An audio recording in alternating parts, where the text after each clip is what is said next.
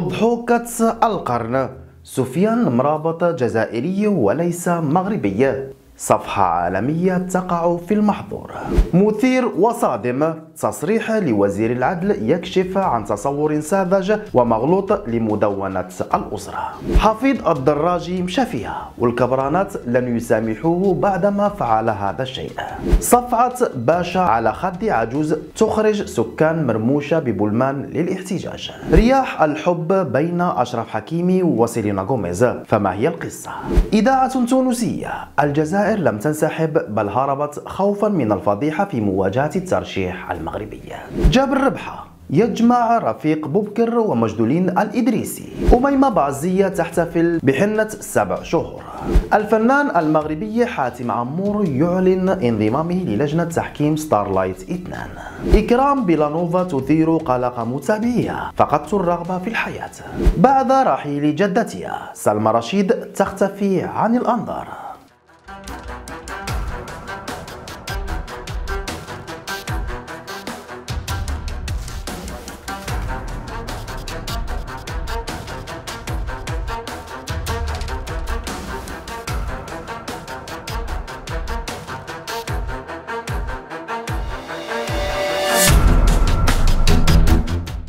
السلام عليكم ورحمة الله تعالى وبركاته. مرحبا بالجميع مرة أخرى في قناتكم كوكب الفن ودائما جديد الأخبار السياسية والفنية والرياضية والثقافية.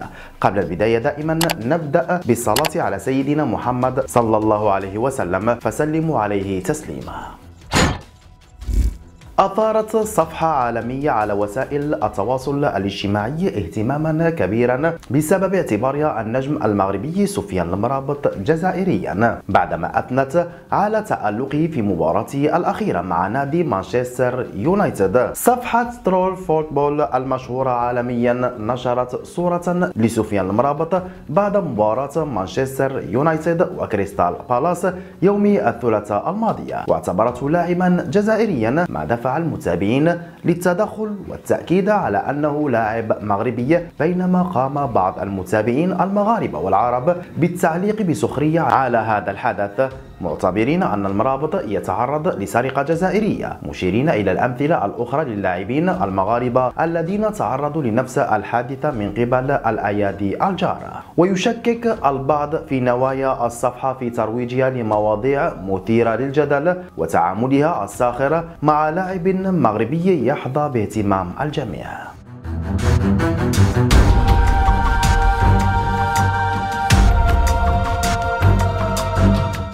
عقب اجتماعه بالرئيس المنتدب للمجلس الأعلى للسلطة القضائية محمد عبد النباوي ورئيس النيابة العامة الحسن الذاكي للإشراف العملي على إعادة النظر في مدونة الأسرة. أدلى وزير العدل عبد اللطيف وهبي بتصريح مثير للجدل يكشف عن تصور ساذج ومغلوط لمدونة الأسرة. وقال عبد اللطيف وهبي في تصريح للصحافة بالمناسبة إن هذا اللقاء يعد الأول بعد الاجتماع مع رئيس الحكومة والذي تم من خلاله التهيئ للاجتماعات المقبلة لتنظيم وتوزيع العمل مبرزا أنه سيتم الشروع في العمل ابتداء من يومه الجمعة المقبل.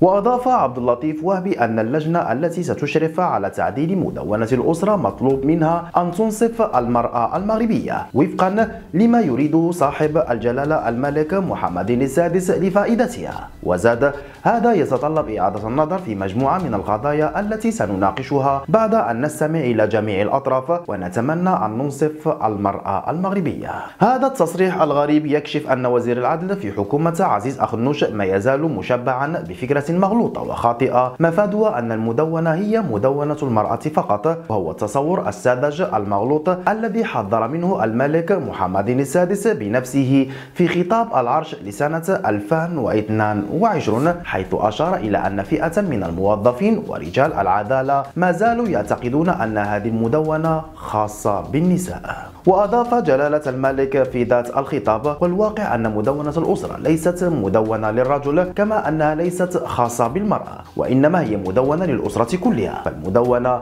تقوم على التوازن لأنها تعطي للمرأة حقوقها وتعطي للرجل حقوقها وتراعي مصلحة الأطفال لذا نشدد على ضرورة التزام الجميع بالتطبيق الصحيح والكامل لمقتضياتها القانونية. وظاهر في تصريح وزير العدل عبد اللطيف وهبي لوسائل الإعلام أن هذا الأخير ما يزال مشبعا ومتشبثا بذلك التصور الساذج المغلوط ولعل الخلفية الإيديولوجية والسياسية للرجل لعبت دورا غير يسير في هذا الأمر. وبمقارنة يسيرة مع تصريح محمد عبد النباوي حيث حول ذات الاجتماع يقف القارئ الكريم على وجاهة ما نبهنا عليه بشأن وزير العدل لعله يتدارك نفسه ويصلح تصوره. حول أمر جلل يهم أزيد من 35 مليون مغربي. وقال عبد النباوي عقب ذات الاجتماع بأن الملك محمد السادس حريص على الاهتمام بقضايا الأسرة المغربية ولذلك يستمع إلى نبض كافة مكونات المجتمع بهدف تحقيق انتظاراتهم مضيفا أن الملك محمد السادس تفضل بتشكيل هذه اللجنة من أجل مراجعة مدونة الأسرة التي مضى على العمل بها 20 سنة وهي مدة كافية من أجل الوقوف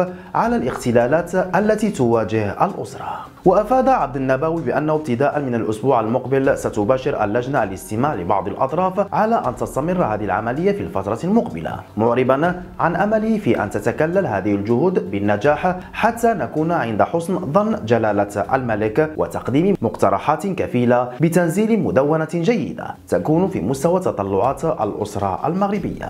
وأكد محمد عبد النباوي على أن القضاء سيكون محايدا ومحترما لثوابت الأمة مضيفا بأن الأمر تعديل مدونة الأسرة. ليس فيه نزاع بل هو بناء قانوني وشرعي للأسرة المغربية. بل حتى الحسن الذاكي في تصريحه إثر الاجتماع المذكور سلك ذات نهج عبد النبوي مشددا على أن ما هم بصدده يهم الأسرة المغربية ككل وليس مكونا من مكوناتها فقط كما هو تصور وهبي الساذج والمنحاز عن المدونة.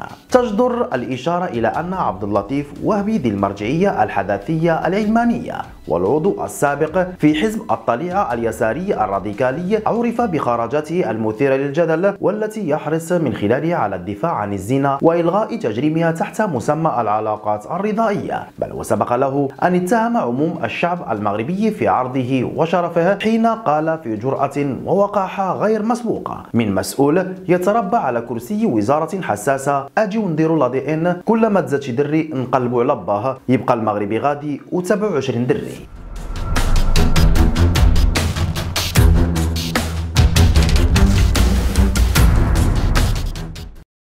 الجزائر صراحة خلينا نقولها خطة متزايدة لتنظيم مثل هكذا أحداث تتزايد ونحن نتراجع فمن الصعب جدا أن نلحق بالركب.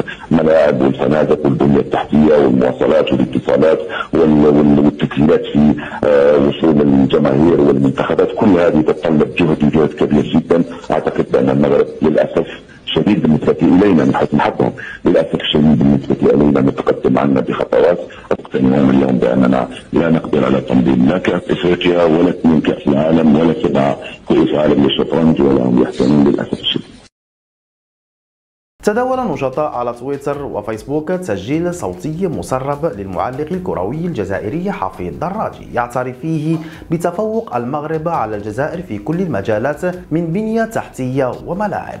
ويقول الدراجي في ذات التسجيل الصوتي المسرب أنه من الصعب على الجزائر اللحاق بالمغرب الذي يتوفر على بنية تحتية متطورة من فنادق وطرق سيارة إلى غير ذلك مما جعله يستحق نيل شرف تنظيم كأس إفريقيا 2025 2020 عن جدارة واستحقاق. وأكد حفيظ الدراجي في ذات التسجيل أن الجزائر غير قادرة على تنظيم لا كأس إفريقيا ولا كأس العالم ولا هم يحزنون.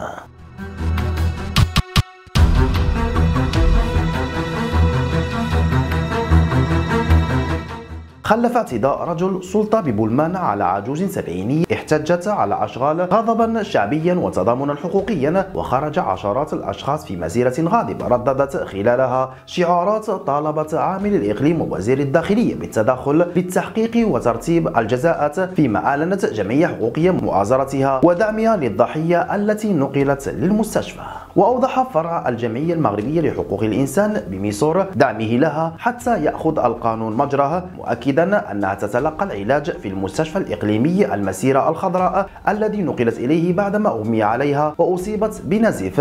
في اعتداء مرفوض وتعنيف لفظي وجسدي مشيرا إلى أنه توصل من عائلة الضحية بطلب مؤازرة. وقالت شهادتا سيدتين من داخل وقفة السكان إن الباشا توجه إلى العجوز وصفع صفعة قوية على وجهها ما أدى لسقوطها أرضا قبل أن تحاول النهوض مجددا إلا أنه ركلها في صدرها. ما زكته شهادة شاب تناول الكلمة أمام السكان الغاضبين بينما قالت سيدة إنها سمعت الباشا يهين أبناء المنطقة بكلام حاط من الكرامة. الحادث وقع أمام أعين السكان ولجنة مختلطة حضرت إلى عين المكان لمعاينة أشغال تهيئة بعض الأزقة والشوارع بمركز جماعة إيموزار مرموشة. وتقصي حقيقة اعتراض بعض السكان على بعض ممراتها ومنهم العجوز التي حاول ابنها توثيق ما تعرضت إليه بهاتفه. نزعه منه رجل السلطة لمنعه.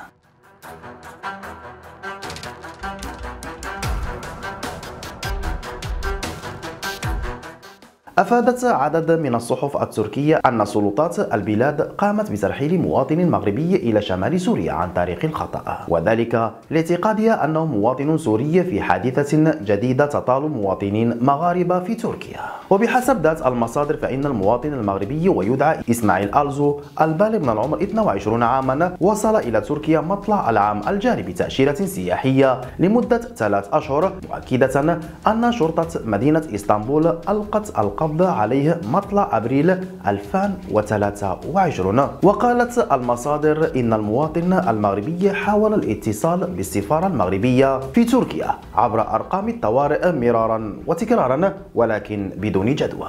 وأضافت بأن الرجل المغربي تم نقله إلى مركز احتجاز اللاجئين في ولاية كيلس التركية تحضيرا لترحيله إلى الشمال السوري عبر معبر باب السلامة الأسبوع الماضي لكن بعد أن تم تأكيد إدارة المعبر من أنه مواطن مغربي قامت بإعادته إلى ولاية غازي عنتاب التي قضى فيها خمسة أشهر في مركز الاحتجاز.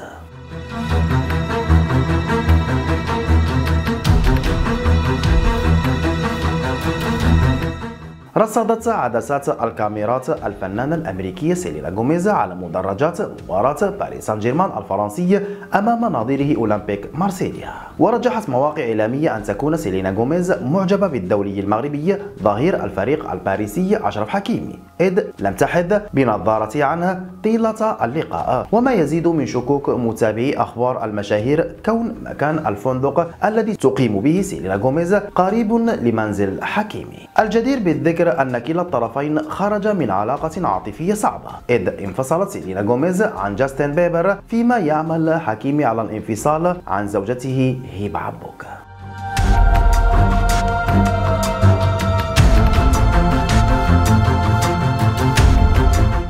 شكل الفوز المغربي بشرف تنظيم نهائيات كأس أمم إفريقيا 2025 مادة دسمة للإعلام العربي والمغاربي بعدما روج الإعلام الجزائري لسحب الترشيح في آخر لحظة. فكما تابع الجميع رفضت الكاف سحب الملف حيث احتفظت اللجنة الخاصة بالترشيحات بالملف الجزائري في التنافس والذي حصل على صفر صوت بينما حصل الترشيح المغربي على 22 صوت من أصل 24 بعدما تخلف عضوين مستوين عن الحضور من بينهم العضو التونسي. إذاعة AFM التونسية كشفت في برنامج إذاعي أن السلطات الجزائرية عمدت إلى الهروب من مواجهة المغرب بعدما تأكدت بكون الهزيمة ستكون مصير ملف ترشحها وتضيف الإذاعة في برنامجها الذي خصصت جزء منه لتصويت الكافة على محتضني نسختي 2025 و 2027 من كأس أمم إفريقيا بأن الإحساس بالهزيمة جعل الجزائريين يتضرعون يقومون بسحب الملف وهو الأمر الواضح الذي لا غبار عنه.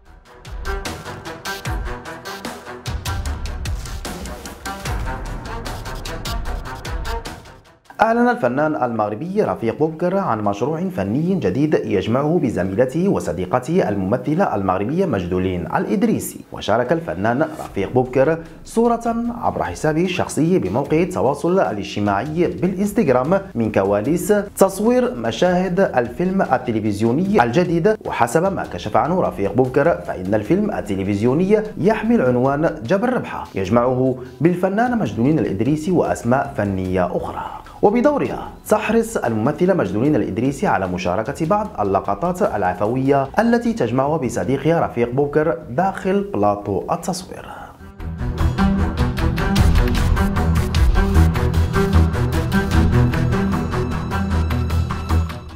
احتفلت المغنية الشعبية أميمة بعزية مساء يوم الخميس بحنة سبع شهور حسب ما شاركته عبر حسابها الخاص بموقع التواصل الاجتماعي بالإنستغرام ونشرت الفنانة الشعبية أميمة بعزية على تطبيق الإنستغرام مقطع فيديو. توثق من خلاله تفاصيل الحفل الذي حضره عدد قليل من أقاربها وأصدقائها. وظهرت أميمة بعزية في مقطع الفيديو على الإنستغرام وهي تضع الحناء على يديها. فيما اختارت أن ترتدي تكشيطة باللون الأبيض في هذا اليوم المميز. يشار إلى أن الفنانة الشعبية أميمة بعزية كانت قد أعلنت خبر حملها قبل أشهر قليلة من خلال نشر صورة لها ببطن بارز.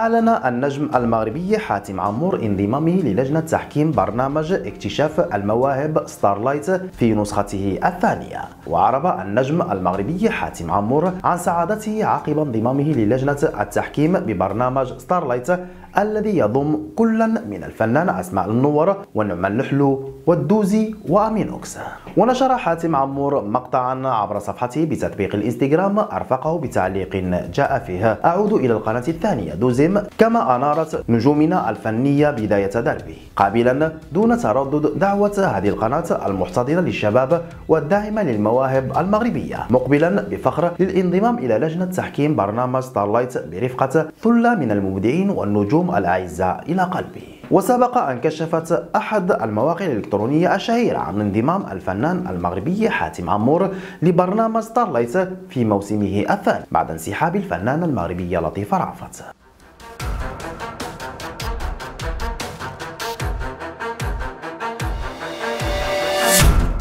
أثارت اليوتيوبر المغربية الشهيرة إكرام بلانوفا تعاطف متابعيها من جديد عبر منصات التواصل الاجتماعي عقب مشاركة معاناتها اليومية مع مرض الاكتئاب. واشتكت المؤثرة إكرام بلانوفا في مقاطع فيديو عبر خاصية القصص القصيرة بحسابها على الإنستغرام من فقدانها الرغبة في الحياة وتناولها مجموعة من الأدوية لتجاوز محنتها النفسية.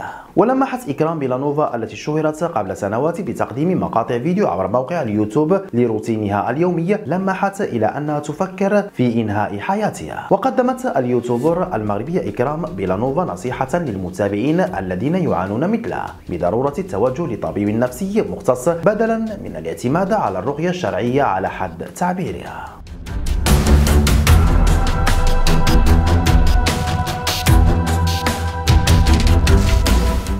منذ إعلان خبر وفاة جدتها قبل حوالي أسبوع اختفت الفنانة المغربية سلمى رشيد عن الأنظار مما أثار قلق متابعيها ومحبيها. واختارت الفنانة المغربية سلمى رشيد الابتعاد عن منصات التواصل الاجتماعي في الوقت الذي تعيش فيه هي وأسرتها فترة عصيبة بعد وفاة جدتها. وكانت سلمى رشيد أعلنت قبل أسبوع عبر حسابها الخاص على موقع الانستغرام وفاة جدتها من والدتها. وودعت خريجة برنامج اكتشاف المواهب عرب أيضل جدتها بكلمات مؤثرة داعية لها بالرحمة والمغفرة. بهذا الخبر نكون قد وصلنا إلى نهاية هذا الموجز. شكرا على حسن انتباهكم ودائما جديد الأخبار. أستودعكم الله. إلى اللقاء.